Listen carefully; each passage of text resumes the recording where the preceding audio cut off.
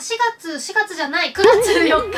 ふなっしーカフェが渋谷パルコパート1の7階に期間限定オープンしてで昨日その取材に行ってきたのでそちらのレポートです。去年10時間待ちでねすごい話題になったふなっしーカフェが今年も渋谷パルコに帰ってきました。私もこれ聞いた時めっちゃ嬉しくってねもう張り切って取材に行ってきたんですけど去年のふなっしーカフェの様子はこの上に出てきたねカードをポチッと押していただくか動画概要欄にあるリンクをクリックしてチェックしてみてください。でメニューもね去年よりさらにパワーアップして帰ってきたって感じでねもうなんかねだんだんご飯に色がついてるっていうのは慣れてきて青でも黄色でも何でも美味しそうみたいな感じになってきたんですけどこのカフェ本当にご飯にこだわってるからどれ食べても本当に美味しくって。で私も今回パンケーキを試食させてもらったんだけどふわふわでね本当に美味しくって。もうねパーツがそれぞれ何でできてるんだろうってね考えながら食べるのもねすごく楽しかったです。でフードメニュー注文するとオリジナルのランチョンマットがもらえたりあとドリンクだとこういった可愛いコースターがもらえたりするんですけど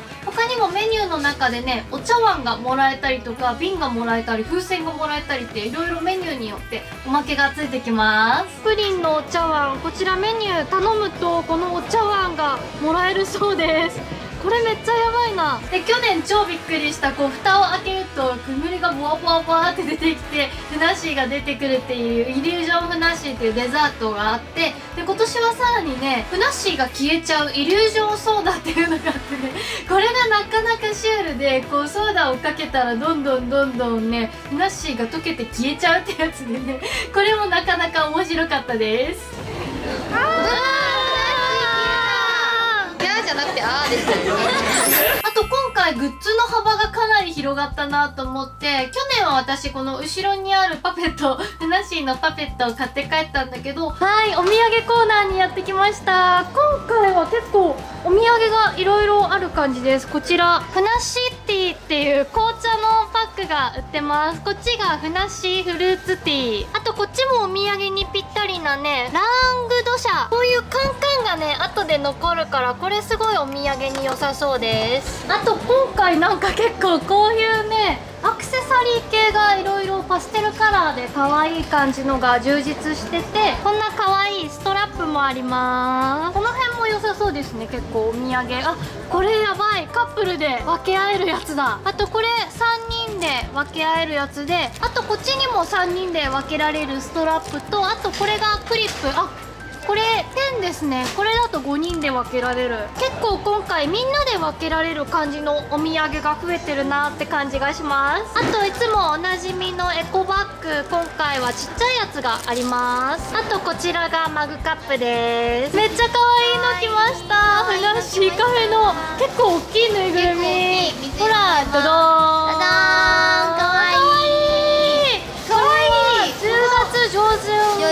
旬ぐらい上旬上旬発売だそうです。ね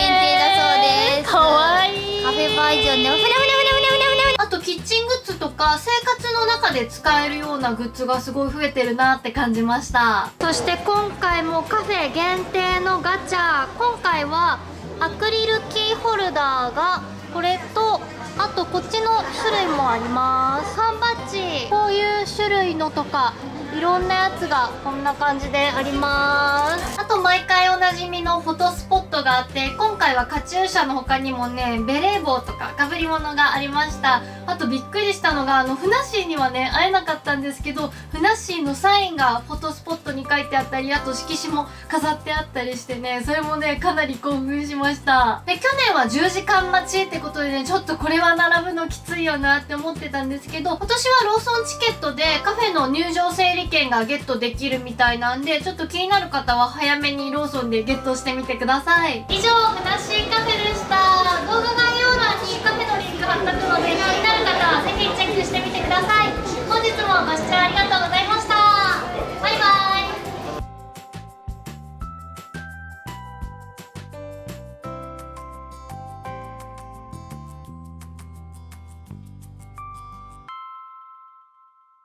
これめっちゃ欲しい。え？え？